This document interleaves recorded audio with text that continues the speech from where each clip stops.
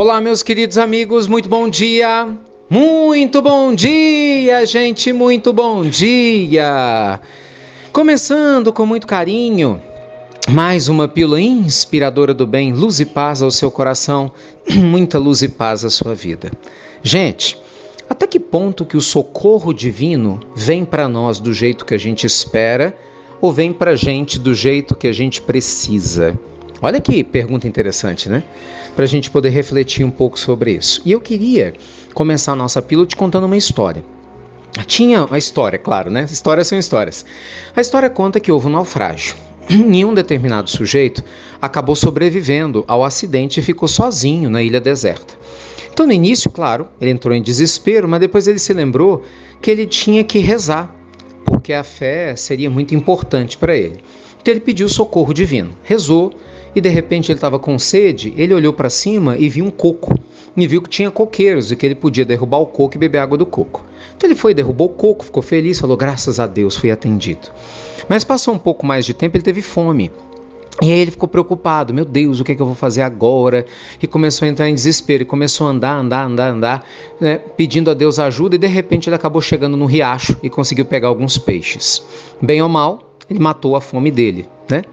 E aí ele achou que estava tudo indo razoavelmente bem. Não, Deus está do meu lado e tal. De repente, gente, ele foi fazendo uma cabana porque estava começando a chover. No que ele fez uma cabaninha muito bonita, ele estava indo pegar madeira para terminar a cabana dele, deu um raio, né? Caiu, na verdade, um raio na praia, exatamente em cima da cabana. Coitado, né? Começou a pegar fogo. Aí ele não deu, ele não deu conta. Aí a fé foi embora. Esse homem entrou em desespero, caindo daquela chuva, naquela escuridão. Imagina, numa ilha deserta, vendo a cabana que ele tinha com todo esforço, né? Construído pegar fogo. Ah, Deus me abandonou, Deus me abandonou e ele acabou desmaiando. Resumo da história: ele acordou no dia seguinte com o barulho de um navio e as pessoas gritando: "Ei, ei, ei!". E aí ele tomou um susto. Na hora que ele abriu os olhos, ele viu que ele estava salvo. E então o pessoal do navio desceu, né? Mandou um bote salva-vidas, ele entrou, subiu. Quando ele estava lá no navio, né, sendo acolhido, o pessoal veio e falou assim: Nossa, você é muito inteligente, meus parabéns. Ele, eu inteligente? É, a gente viu o sinal de fumaça. e você enviou para nós na tempestade de ontem à noite. Olha só, gente.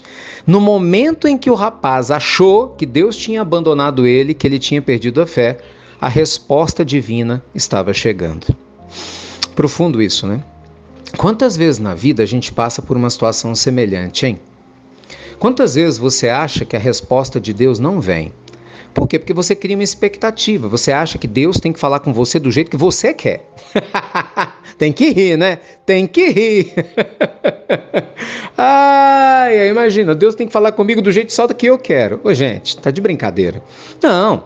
A lei divina, ela fala conosco como a lei divina fala com todo mundo. E com certeza absoluta, boa parte das vezes não é da maneira que a gente espera ou que a gente quer, mas sim da forma como a gente precisa. Por isso que não desistir de Deus da nossa fé é fundamental, mas ao mesmo tempo é tão importante se manter aberto. Sabe por quê? Tem muita gente cabeça dura no mundo, né? E você tem que se certificar que não seja você, né? E eu tenho que me certificar que não seja eu. Porque quando a gente é cabeça dura e a gente enfia na cabeça que Deus só vai falar conosco de uma forma, muitas vezes a resposta que você está procurando vem de uma maneira diferente e está na sua frente e você não quer enxergar porque o orgulho não deixa. Sabe aquela história? Não, porque eu pedi a Deus que aparecesse para mim um anjo e me desse um sinal. De repente o anjo é um mendigo na rua que vai aparecer para você pedindo esmola. Estou falando sério.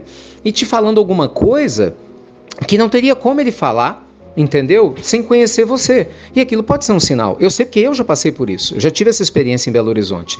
E é absurdo, assim, como que isso, isso faz a gente cair, né? Você fala, meu Deus, né? Deus fala conosco do jeito que a gente precisa, gente. Às vezes é um livro.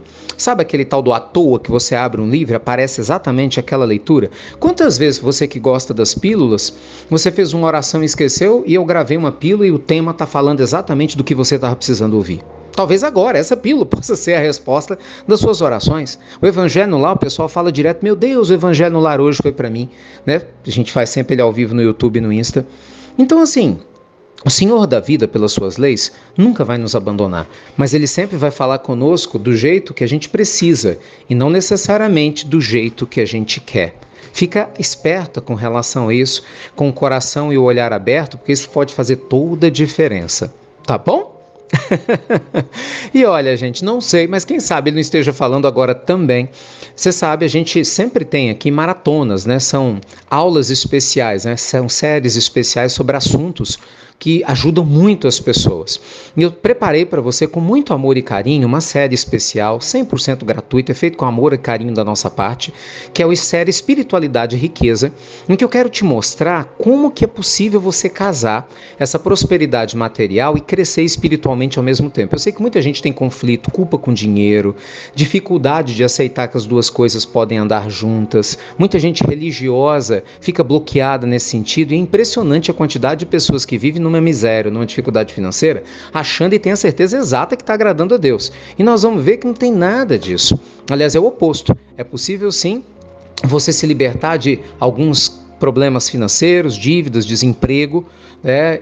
E ao mesmo tempo crescer na sua vida financeira, por que não até construir uma renda passiva, que é o sonho de muita gente, se você entender algumas coisas. Então, se esse tema te chamar a atenção, segunda-feira começa dia 25 às 19h57 da noite em ponto, a nossa série Espiritualidade e Riqueza no nosso canal do YouTube. E aí você para participar tem que se inscrever. O link está aqui na descrição da pílula. Ajuda a gente a divulgar porque eu tenho certeza que muita gente vai te agradecer. Pode ter certeza, viu? Por essa divulgação. Um beijo grande, luz e paz e até breve. Até muito, meus amigos. Muito breve.